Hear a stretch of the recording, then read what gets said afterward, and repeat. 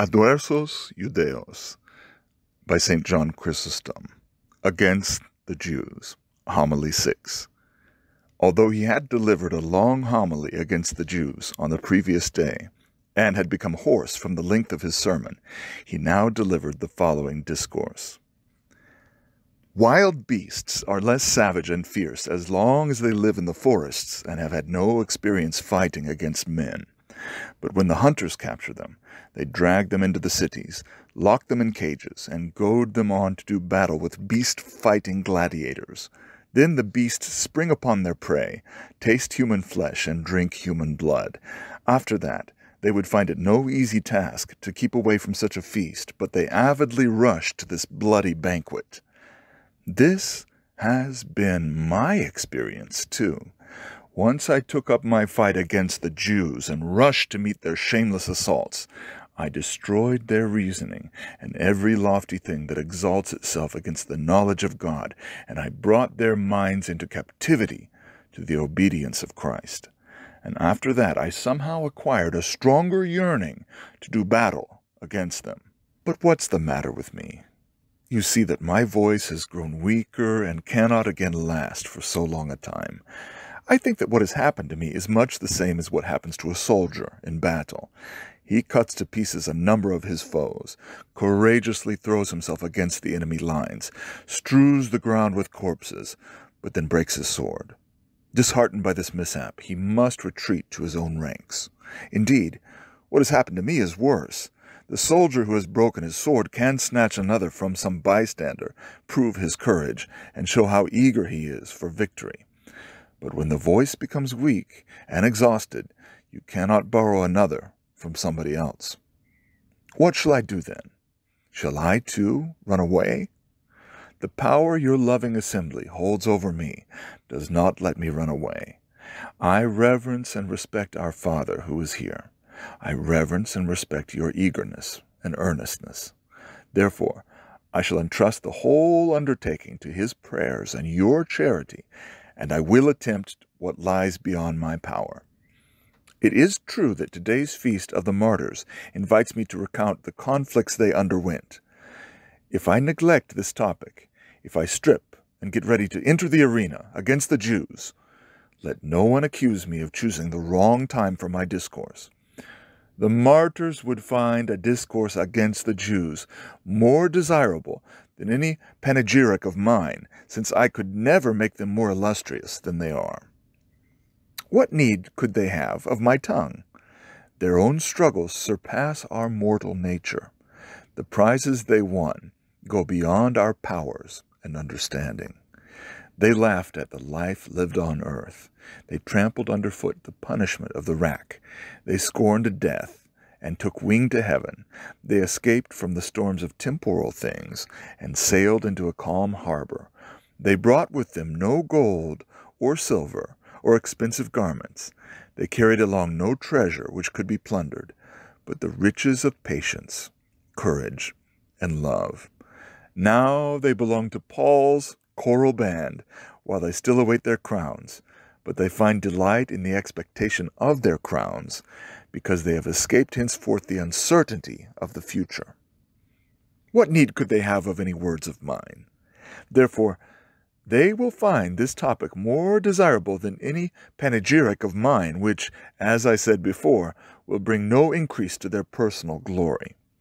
But it could be that they will derive great pleasure from my conflict with the Jews, they might well listen most intently to a discourse given for God's glory, for the martyrs had a special hatred for the Jews, since the Jews crucified him for whom they have a special love.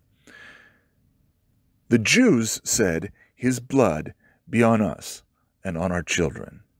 The martyrs poured out their own blood for him whom the Jews had slain.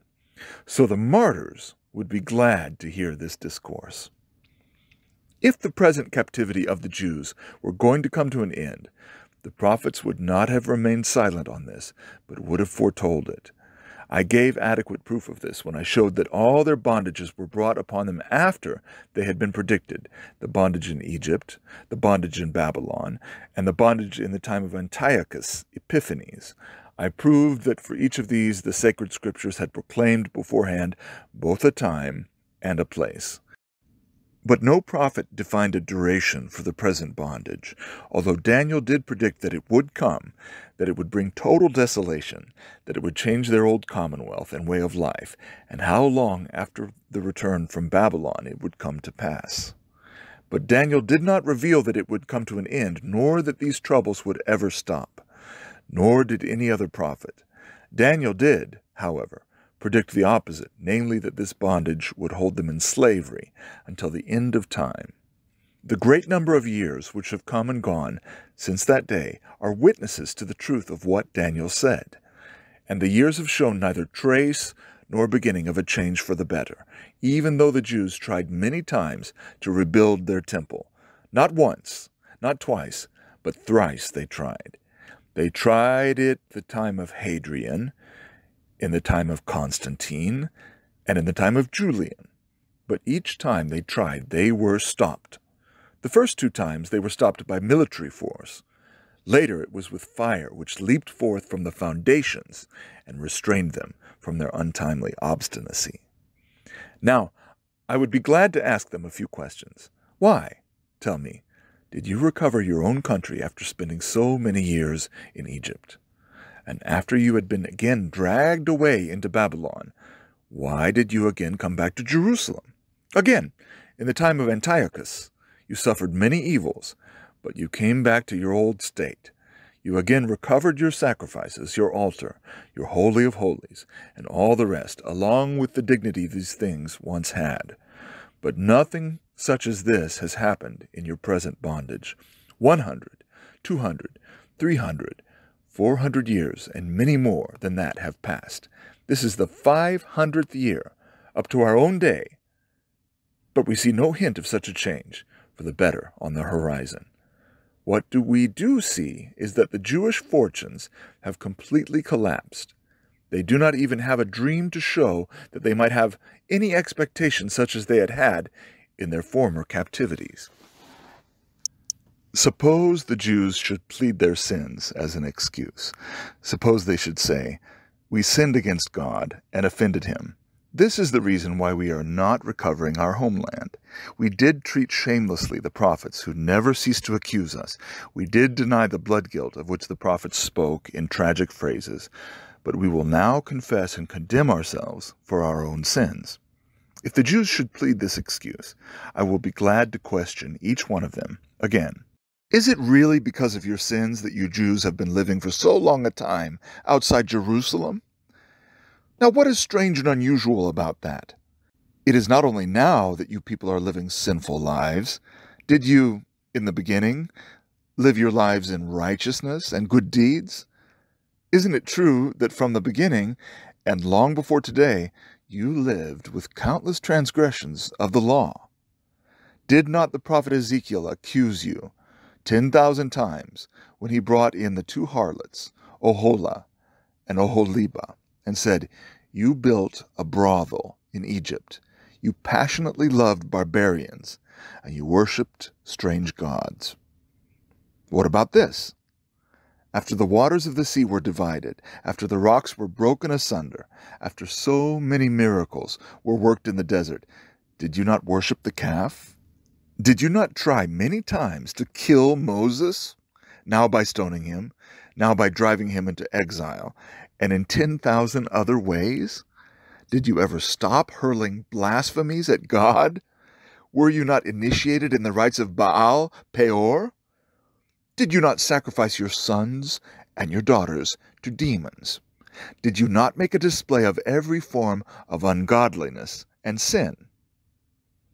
Did not the prophet speaking in behalf of God, say to you, Forty years I was offended with that generation, and I said, These always err in their hearts. How was it, then, that at that time God did not turn himself away from you?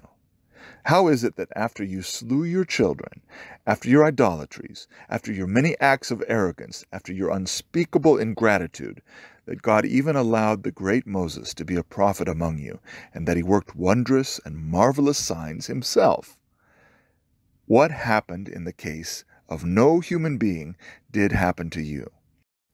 A cloud was stretched over you in place of a roof. A pillar instead of a lamp served to guide you. Your enemies retreated of their own accord. Cities were captured almost at the first battle shout. You had no need of weapons, no need of an army in array, no need to do battle. You had only to sound your trumpets, and the walls came tumbling down of their own accord. And you had a strange and marvelous food, which the prophet spoke, of which he exclaimed, He gave them the bread of heaven. Man did eat angels' food. He sent them provisions in abundance. Tell me this. In those days you were guilty of ungodliness. You worshipped idols. You slew your children. You stoned the prophets. And you did ten thousand dreadful deeds. Why then did you enjoy such great kindness and goodwill from him? Why did he offer you such protection at that time? Now you do not worship idols. You do not slay your children. You do not stone the prophets. Why are you now spending your lives in endless captivity?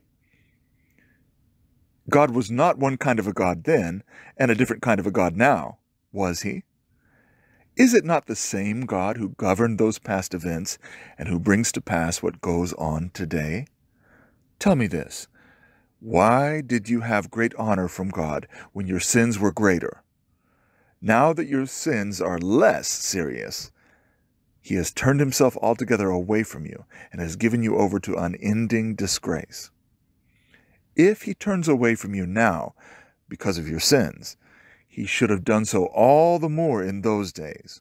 If he put up with you when you were living lives of ungodliness, he ought to put up with you all the more now that you venture no such enormities. Why, then, has he not put up with you?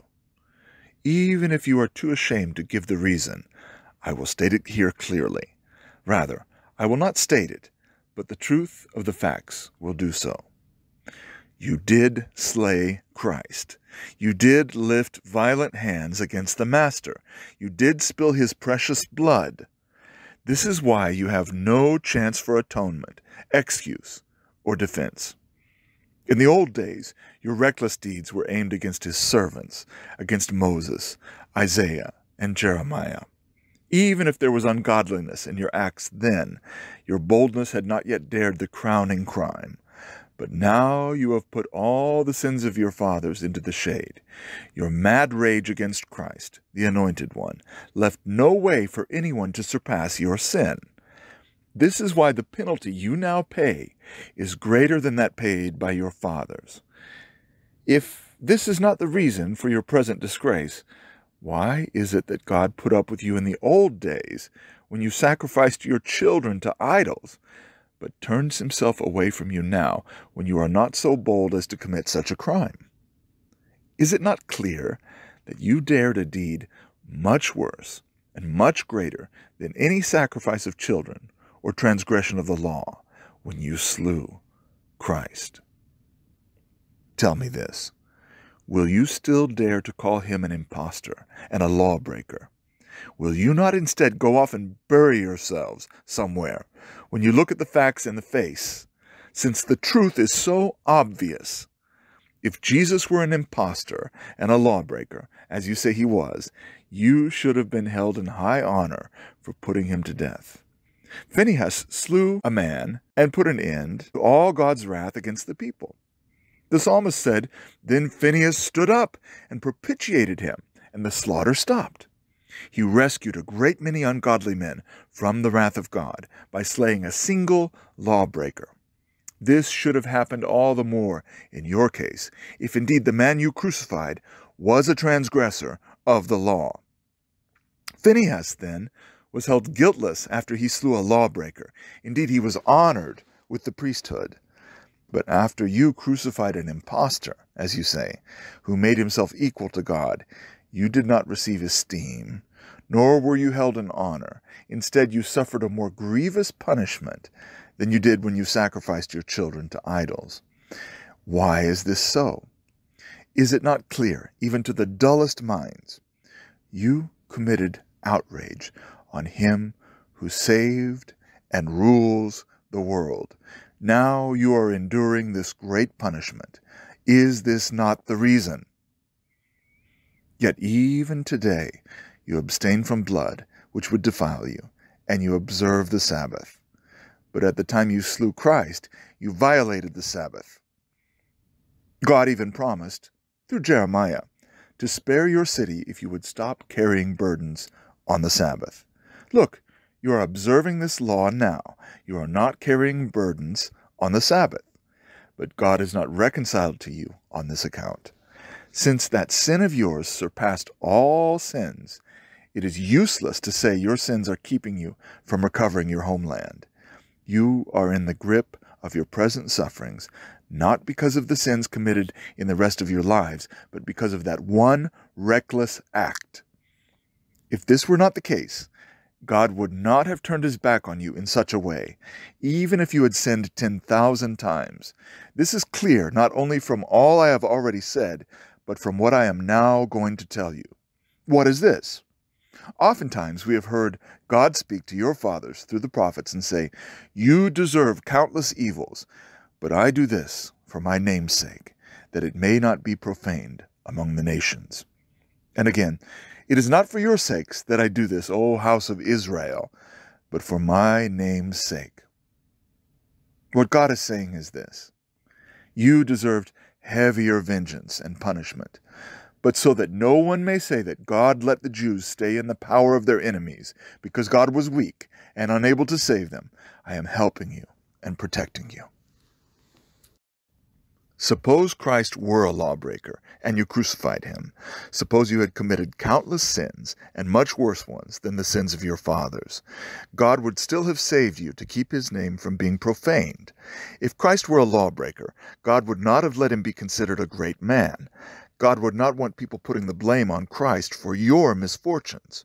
If God clearly overlooks your sins for his glory's sake, he would have done so all the more if you crucified a lawbreaker he would have approved of this slaughter and would have blotted out your sins, many as they are. But when God clearly and completely turns himself from you, it is obvious that by his anger and by abandoning you forever, he is proving even to the most shameless that he who was slain was not a lawbreaker, but the lawgiver who has come as the author of countless blessings. You acted outrageously against him, and you are now held in indignity and dishonor. We worship him, and even though heretofore we were held in greater dishonor than all of you, now, through the grace of God, we are more venerable than all of you, and are held in higher esteem. But the Jews will say, Where is the evidence that God has turned away from us? Does this still need proof in words? Tell me this do not the facts themselves shout it out? Do they not send forth a sound clearer than a trumpet's call?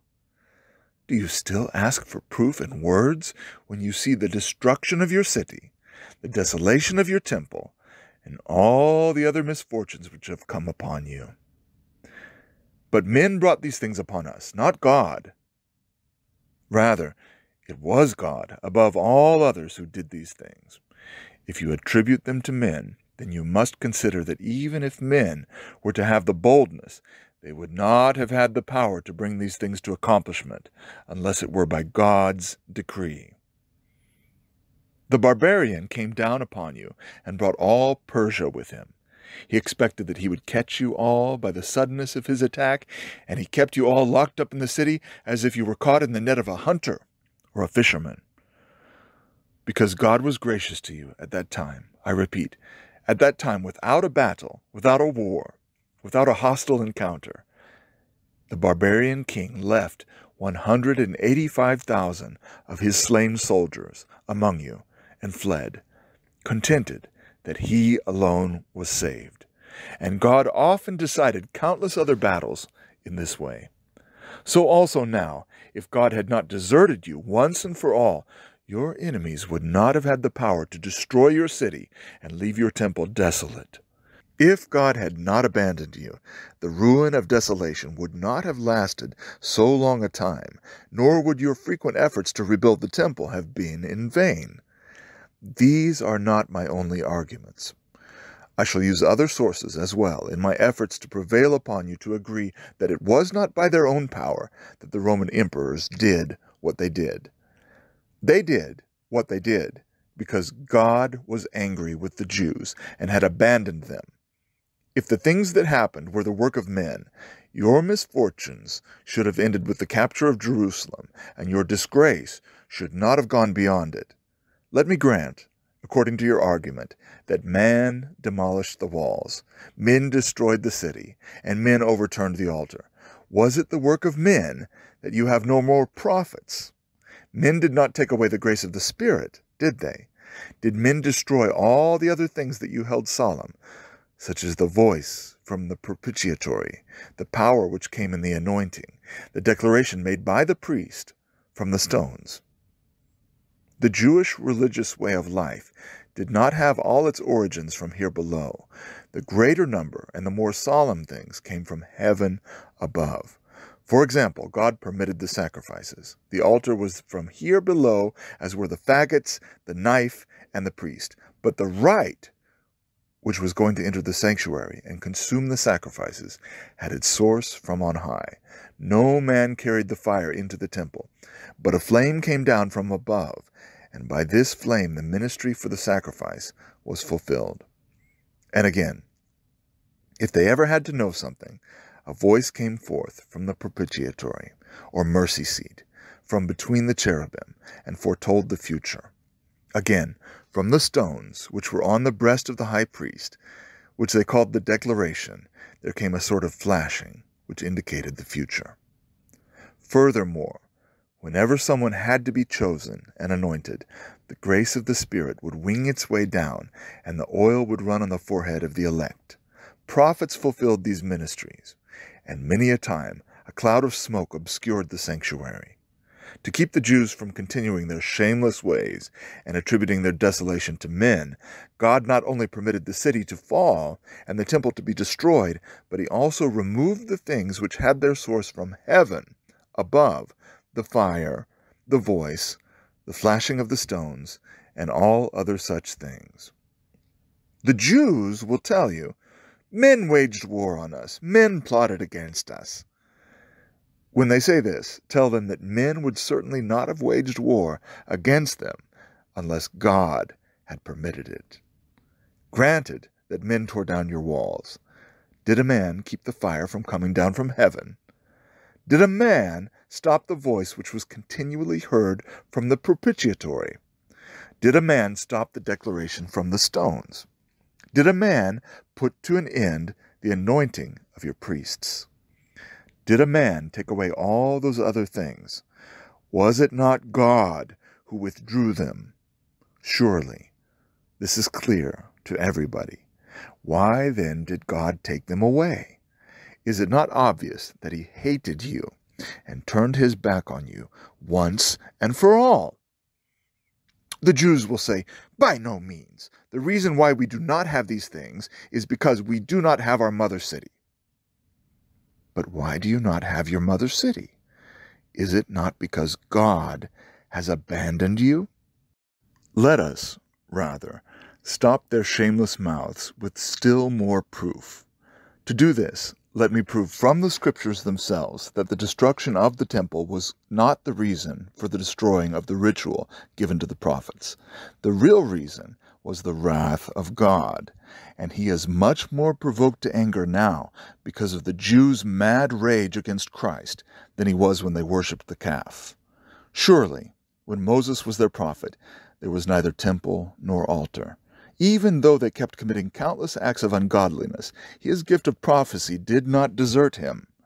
To be sure, he was a great and noble man, but in addition to him, there were again seventy other men who at that time were proclaimed as prophets. This was true not only in Moses' day, but also thereafter, when they had been given a temple and the rest of the ritual. Even after this temple was burned and they had all been led off to Babylon, Ezekiel and Daniel saw no Holy of Holies and stood beside no altar. But even though they were in the middle of a barbarian land and in the midst of unclean transgressors of the law, they were filled with the Spirit of God and foretold the future, predicting events far more numerous and marvelous than those prophesied by their predecessors. And they saw divine visions insofar as it was possible for them to see.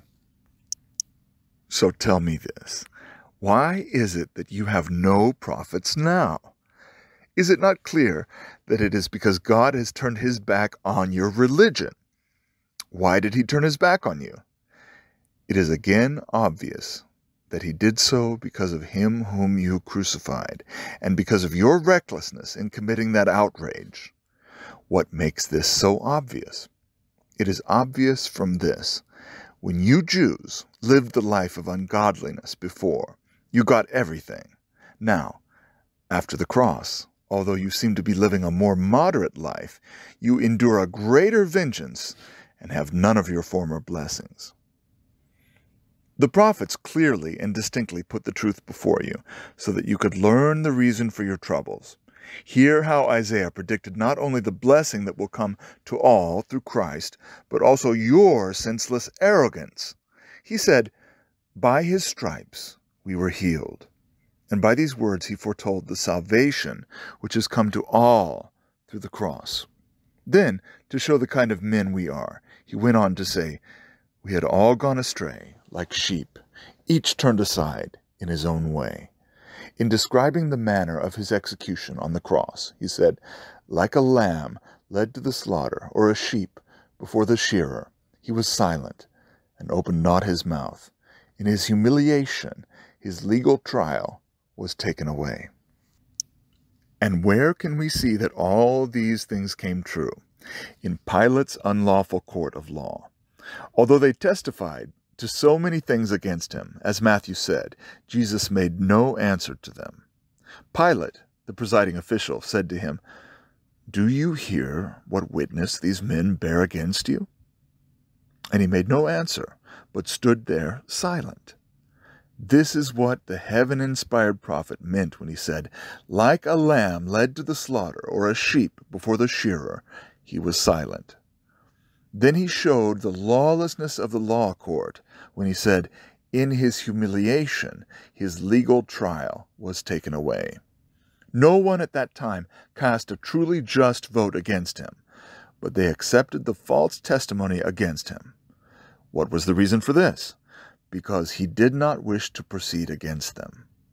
If he wished to do so, he would have stirred up everything and shaken the world to its depths. When he was on the cross, he split the rocks, darkened the earth, turned aside the rays of the sun, and made night out of day over the whole world. If he did this on the cross, he could have done it in the courtroom. Yet he did not wish to do it, but instead showed us his mildness and moderation. This is why Isaiah said, In his humiliation, his legal trial was taken away. Then, to show that Jesus was not just anybody, he went on to say, Who shall declare his generation? Who is this man of whom Isaiah has said, His life is taken from the earth? This is why Paul also said, Our life is hidden with Christ in God. When Christ, our life, shall appear, then you too will appear with him in glory. But let me return to the topic which I proposed to discuss and prove, namely, that the Jews are enduring their present troubles because of Christ. It is time now to bring my witness, Isaiah, who spoke these words. Where then did he say this?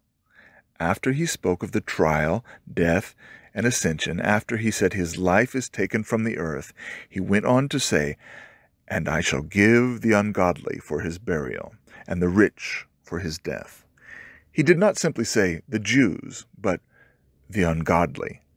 What could be more ungodly than those who first received so many good things and then slew the author of those blessings?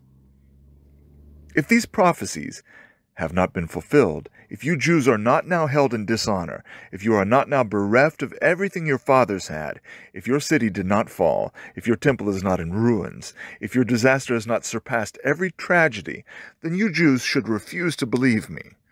But if the facts shout out and prophecy has been fulfilled, why do you keep up your foolish and unavailing impudence?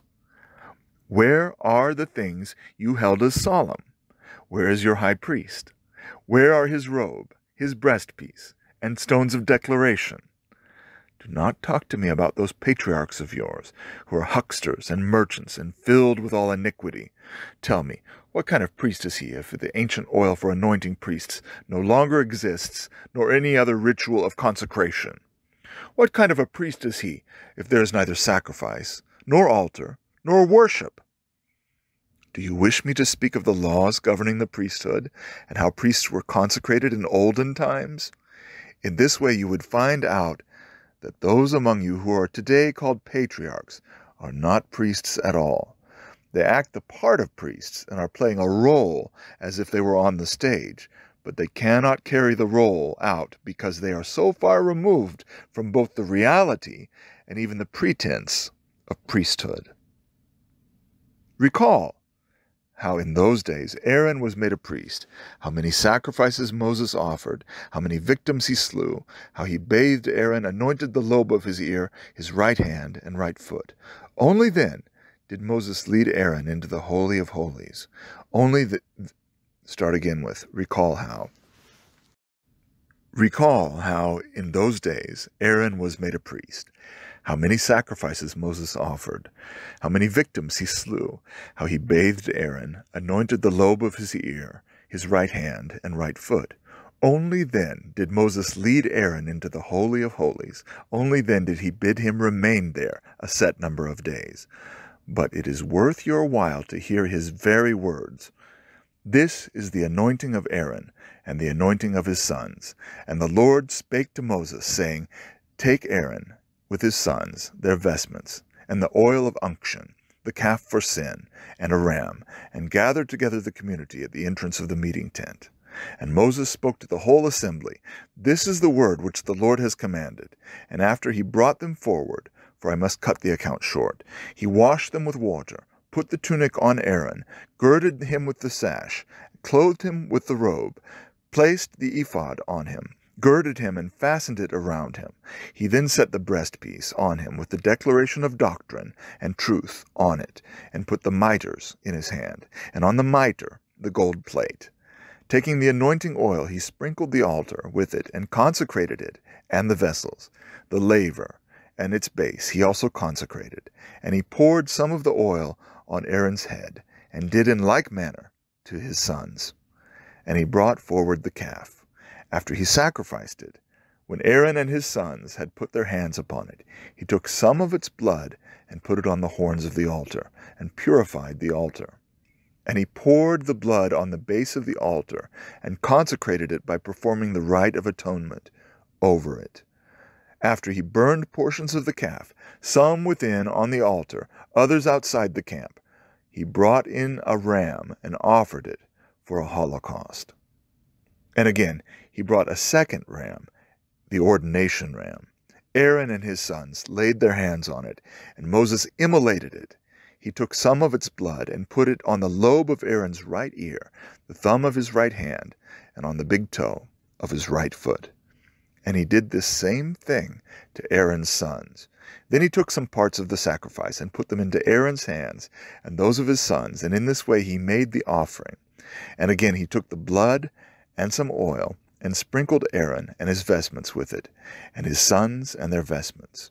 He consecrated them, and ordered them to cook the flesh at the entrance to the tent of meeting, and to eat it there. And he said, You shall not go forth from the entrance to the tent of meeting for seven days, until the day when the day of your ordination is complete. Moses said that by all these rites Aaron was ordained, purified, and consecrated, and that they appeased God. But we find none of these today no sacrifice, no holocaust, no sprinkling of blood, no anointing with oil, no tent of meeting where they must sit for a definite number of days. This makes it obvious that the priest among the Jews today is unordained, unclean, under a curse, and profane. He only provokes God's wrath. If a priest could not be ordained in any other way than by these rites, and these rites no longer exist, then there is no possible way that their priesthood could have continued to exist. You see that I was right when I said they had gotten somewhere far off, and had been far removed from both the reality and even the pretense of the priesthood. We can also learn from other sources how awesome was the dignity of the priesthood. Indeed, there was a day when some wicked and evil men revolted against Aaron, quarreled with him over his position in the community, and tried to drive him from his leadership.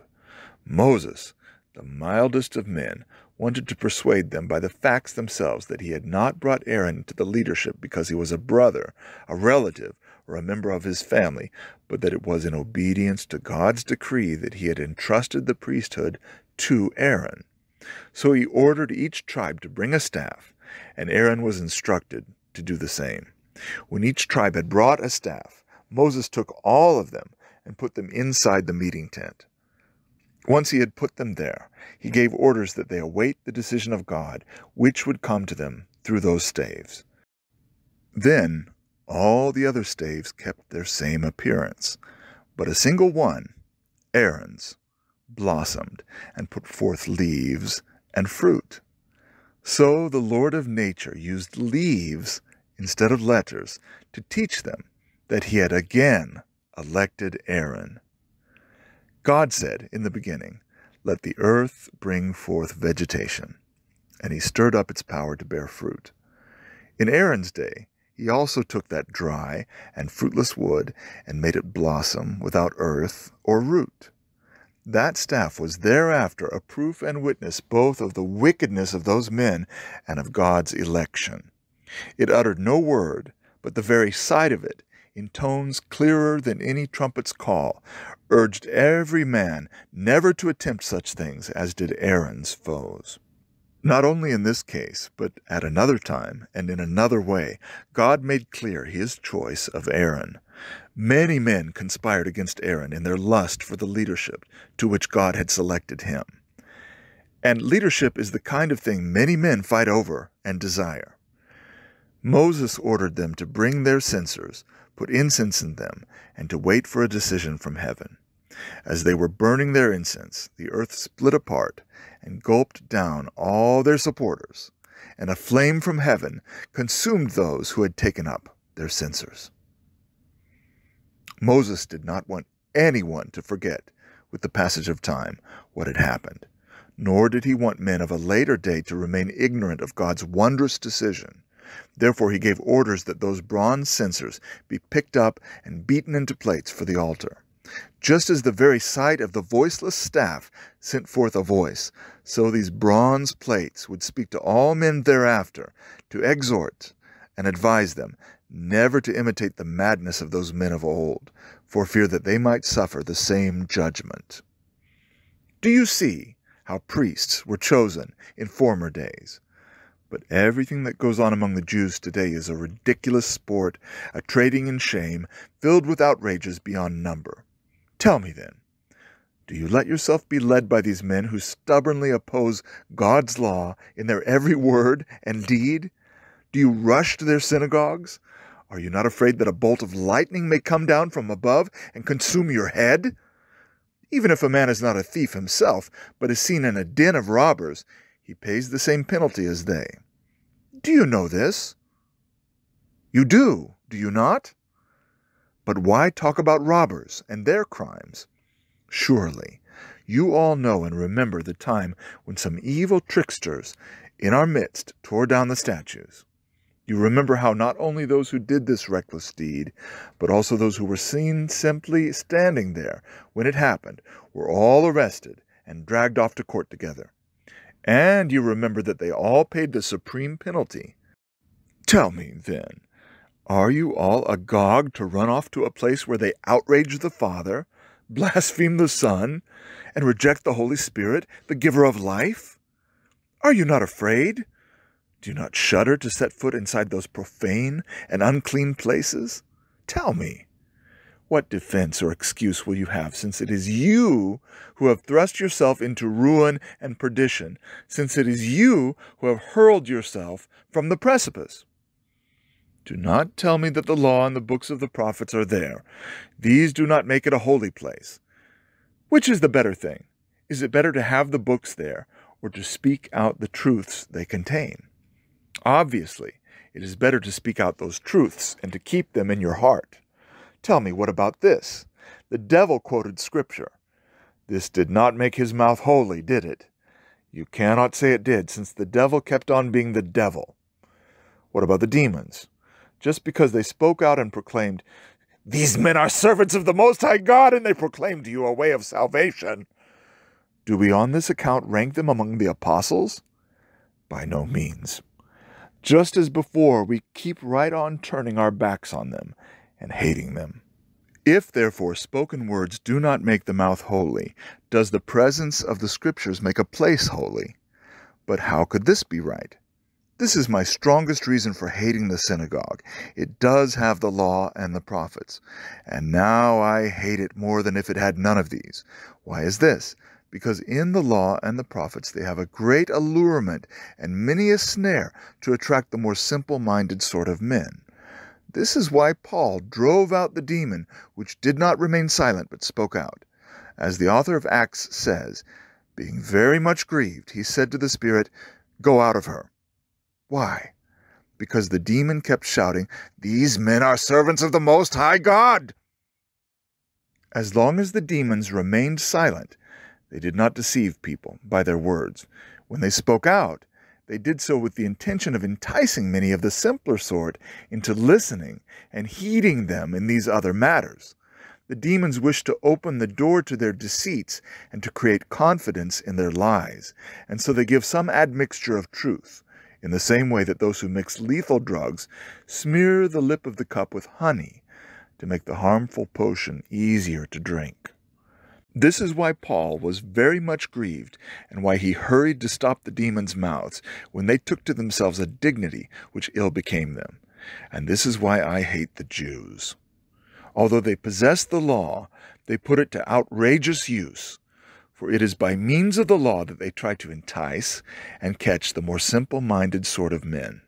If they refused to believe in Christ because they did not believe in the prophets, the charge against them would not be so severe. As it is, they have deprived themselves of every excuse because they say that they do believe in the prophets, but they have heaped outrage on him whom the prophets foretold. In short, if you believe the place is holy, because the law and the books of the prophets are there, then it is time for you to believe that idols and temples of idols are holy. Once, when the Jews were at war, the people of Ashdod conquered them, took their ark, and brought it into their own temple. Did the fact that it contained the ark make their temple a holy place? By no means. It continued to be profane and unclean, as the events straightway proved. For God wanted to teach the enemies of the Jews that the defeat was not due to God's weakness, but to the transgressions of those who worshipped him. And so the ark, which had been taken as booty in war, gave proof of its power in an alien land by twice throwing the idol to the ground, so that the idol was broken. The ark was so far from making that temple a holy place that it even openly attacked it. Look at it another way.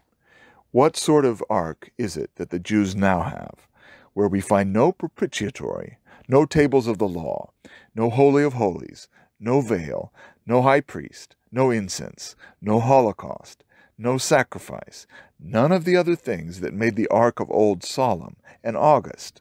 It seems to me that the ark the Jews now have is no better off than those toy arks which you can buy in the marketplace. In fact, much worse. Those little toy arks cannot hurt anybody who comes close to them, but the ark which the Jews now have does great harm each day to those who come near it. Brethren, do not become children in mind, but in malice be children, and rescue from their untimely anguish those who are frightened by these things. Teach them what should really terrify them and make them afraid. They should not be terrified by that ark, but they should be afraid that they will bring destruction to the temple of God. How will they destroy the temple of God? By constantly rushing off to the synagogue, by a conscience which is inclined toward Judaism, and by the untimely observance of the Jewish rites. You who would be justified in the law have fallen away from grace. This is what you must fear. On that day of judgment, you must be afraid of hearing him who will judge you say, Depart, I know you not. You made common cause with those who crucified me. You were obstinate towards me, and started up again the festivals to which I had put an end. You ran to the synagogues of the Jews who sinned against me. I destroyed the temple and made ruins of that august place, together with all the awe inspiring things it contained. But you frequented shrines that are no better than hucksters' shops or dens of thieves.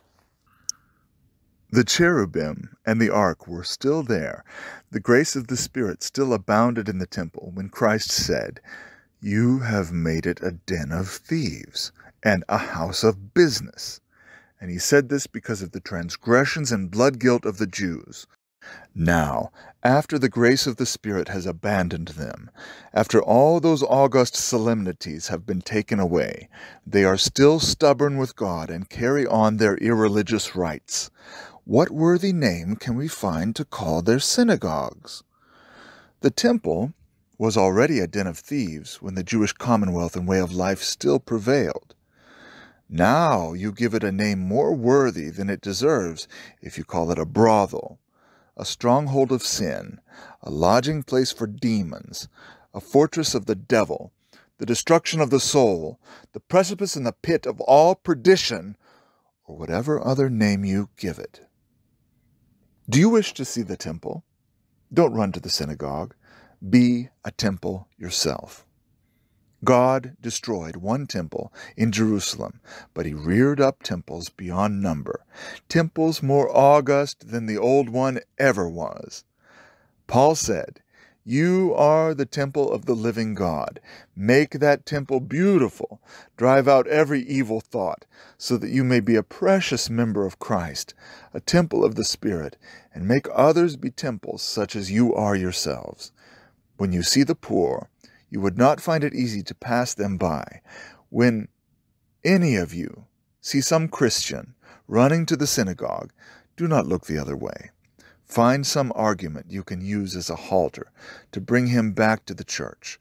This kind of almsgiving is greater than giving money to the poor, and the profit from it is worth more than 10,000 talents.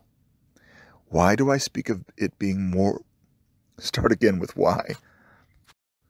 Why do I speak of it being worth more than 10,000 talents, or worth more than the whole visible world? A human being is worth more than the whole world. Heaven and earth and sea and sun and stars were all made for his sake. Consider well, then, the dignity and the worth of the man you save. Do not think lightly of the care you show to him. Even if a man gives away more money than you can count, he does not do as great a thing as the man who saves a soul, leads it from its error, and takes it by the hand along the road to godliness. The man who gives to the poor takes away the poor man's hunger. The man who sets a Judaizing Christian straight wins a victory over godlessness. The first man gave consolation to the poor. The second put a stop to reckless transgression. The first freed the body from pain. The other snatched a soul from the fires of hell.